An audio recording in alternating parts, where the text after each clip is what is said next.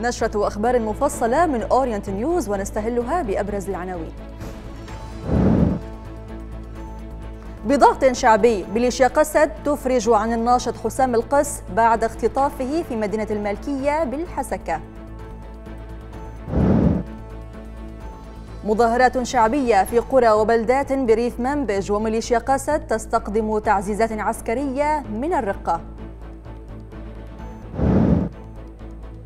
الولايات المتحدة تعلن عن تمويل إنساني بقيمة 240 مليون دولار لدعم السوريين وتدعو إلى السماح بوصول المساعدات من المعابر الدولية. إصابة عشرات المتظاهرين برصاص الشرطة الإسرائيلية خلال مظاهرات في الضفة الغربية. حريق ضخم يلتهم مخيما للنازحين الأزيديين في محافظة دهوك شمال العراق.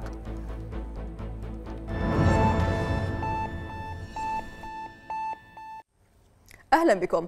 أفرجت ميليشيا قسد عن الناشط حسام القس بعد أن اختطفته من أمام كنيسة السريان في مدينة الملكية بالحسكة ويأتي الإفراج بعد ضغوطات ومطالبات من ناشطين وصحفيين على قسد وحملات للمطالبة بإطلاق سراحه إضافة إلى تحميل أسرته, أسرته لقسد المسؤولية عن اختطافه بسبب مواقفه المدافعة عن الحريات وحقوق الإنسان. انطلقت مظاهرات شعبية ضد ميليشيا قسد في قرى بريف مدينة منبج شرق حلب وذلك بعد أيام من الأحداث الدموية في المنطقة.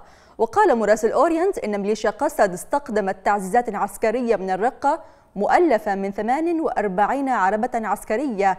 في السياق تشهد مدينة منبج غيابا تاما للمحروقات منذ أربعة أيام وسط استمرار إغلاق كافة محطات الوقود وشلل كبير في كافة مناحي الحياة في المدينة. للمزيد حول هذا الموضوع ينضم إلينا من أورفا الصحفي في شبكة فرات بوست صهيب الجابر. أهلا بك صهيب. هل اتضحت الأسباب والتهم الموجهة لحسام؟ نعم، بداية أحييكم أستاذ المشاهدين. يعني حقيقة هذه عادة قسد يعني آه، اعتقال الناشطين بات اليوم هو عادة آه، كل من يوجه آه، أي انتقاد أو حتى ينشر. منشور على صفحته الشخصية منتقدا جزئية محددة في آه، ممارسات قسد آه، يتم اخفائه وحسام القس بحسب يعني ما انتشر في المنطقة أنه تعرض للضرب والاختطاف من قبل مجهولين. هذا كان في بداية الأمر بادئ الأمر. نعم. بعد ذلك اتضح أنه مختطف لدى قسد يعني مغيب قسرا يعني يعتبر بموجب القانون آه، ثم أفرجت عنه آه، قسد بعد الضغوطات عبر آه، مواقع التواصل الاجتماعي والإعلام وعدد من النشطاء. طبعا حسام القس هو ناشط مدني تابع للمنظمة الأشورية الديمقراطية. هو عضو في المكتب الإعلامي فيها. وللمفارقه نعم. يعني هو كان خلال الأعمال العسكرية شرق الفرات في العام 2019 أواخر العام 2019 من هل لديك معلومات حول آلية الإفراج عن حسام؟ عفوا لم أسمع السؤال هل لديكم معلومات حول آلية الإفراج عن الناشط حسام؟ لا يوجد أي معلومات لكنه اتضح أنه كان لدى قسد تحديدا وأفرجت عنه وكنت أتحدث عن نقطة مهمة هي أنه من الأشخاص الذين يعتبرون محسوبين على قسد نوعا ما يعني نعم. هو آه، يعني من ناحية آرائه الشخصية وأيضا دفاعه في فترة ما عن قسد كان بشكل قوي جدا وأيضا كان آه، يعني آه، يتضح ذلك من خلال يعني آه، منشوراته وغير ذلك لكن بالنتيجة هو يعتبر ناشط مدني واعتقاله بهذه الطريقة هو أمر مشين ولا يعني لا يوجد أي مبرر له. وبعد ذلك يعني أفرجت عنه قسد كما فعلت مع نشطاء كثيرين في المنطقة الشرقية وشمال شرق سوريا. هنالك عدد كبير نعم. من النشطاء الذين تم إخفائهم. وعدد من الاشخاص الشخصيات التي تعتبر محسوبة على المعارضة أو من منظمي الحراك السلمي أيضا في نعم وبينهم نساء. صهيب هل لديك معلومات حول التعزيزات العسكرية التي استخدمتها ميليشيا قسد إلى منبج؟ حقيقة يعني آه، المنطقة تشهد توتر الآن. آه، تعزيزات هدفها قمع المظاهرات خاصة أن هنالك خروج لعدد من المدنيين اليوم أيضا آه، للاحتجاج على قرارات قسد وأيضا يعني التذكير بأن دم الناس هو أمر يعني غالي في قمه في يعني الأهمية ولا يوجد يعني فقط مبرر لقسد يعني بجرد قلم تتخذها العدول عن قرار نعم. يعني تنسى أو يتم نسيان دم الناس الذين استشهدوا خلال المظاهرات. اليوم نتحدث عن أكثر من ثمانية مدنيين ارتقوا في منبج خلال المظاهرات وأكثر من 27 شخص. اليوم نعم هناك حتى تصعيد واضح يعني.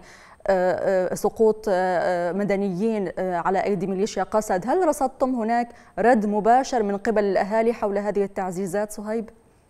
يعني حقيقة التجمع التجمعات المدنية خاصة ليس فقط في منبج هنا نتحدث حتى على مستوى ريف حلب عموما. اليوم خرجت مظاهرة في مدينة جرابلس للوقوف مع أهالي منبج سكان منبج وللتذكير بمبادئ الثورة السورية. أيضا اليوم على المستوى الدولي كان هنالك تصريحات من وزارة الخارجية الألمانية تحديدا طالبت وزارة الخارجية الألمانية اليوم الجمعه بالتحقيق في أحداث التي شهدتها مدينة منبج في شمال شرق سوريا وشمال عفوا شمالي سوريا وبعد بالمظاهرات التي يعني حدثت في المنطقة. وكانت هذه المطالبات أتت عبر ماريا ريبهير التي هي المتحدثة باسم الخارجية الألمانية التي طالبت بفتح تحقيق شامل بانتهاكات قسد نعم.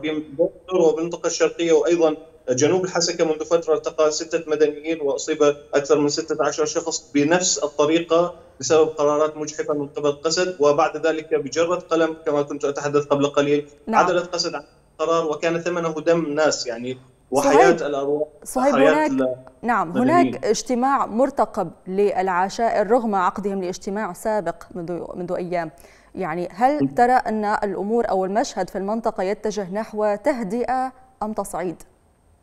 يعني المعطيات و يعني ما يحدث الآن في المنطقة لا يشير إلى أنه هنالك تهدئة، يعني نتمنى أن يكون الوضع مستقر بالنسبة للمدنيين، يعني الحرص على حياة المدنيين يدفعنا لأن نتمنى أن يكون الوضع مستقر وآمن، لكن هذا حقيقة غير موجود على أرض الواقع، نعم. ما تمارسه قسد وانتهاكاتها يدفع الناس نتيجة وهي نتيجة طبيعية للتظاهر والاحتجاج وأيضا يخلق نوع من يعني عدم الاستقرار على المستوى الأمني حتى. يعني هنالك بدليل أنها استخدمت تعزيزات عسكرية. نعم وصلت الفكرة. صهيب نعم. الجابر صحفي من شبكة فرات بوست كان معي عبر الهاتف من أورفا. شكرا جزيلا لك.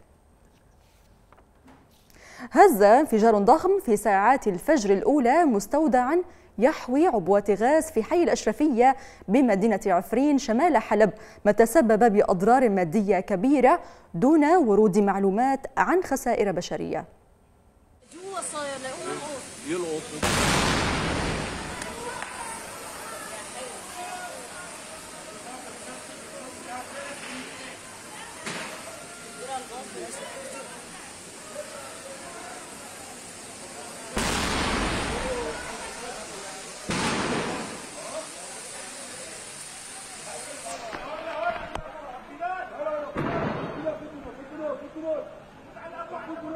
البنايه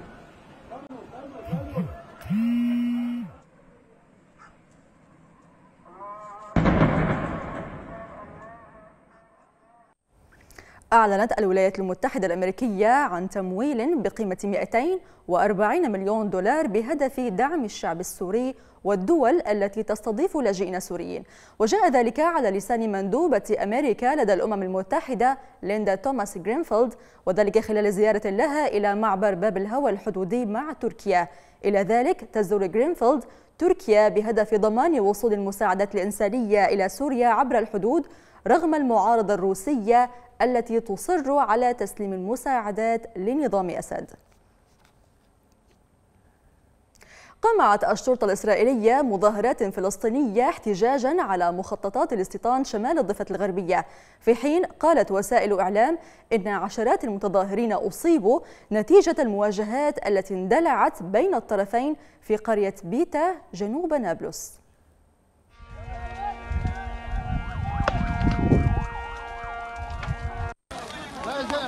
में हंसनी चाहिए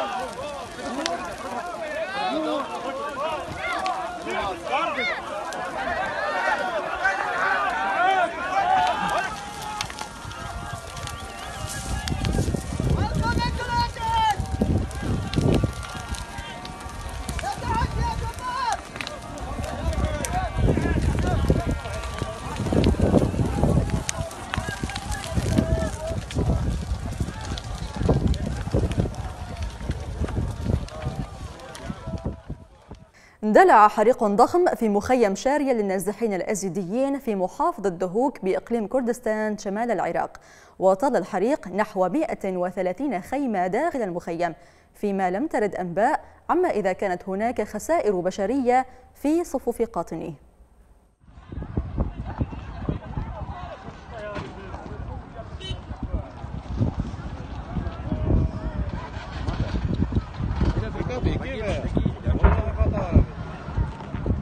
خدونو بنامري خدونو بنامري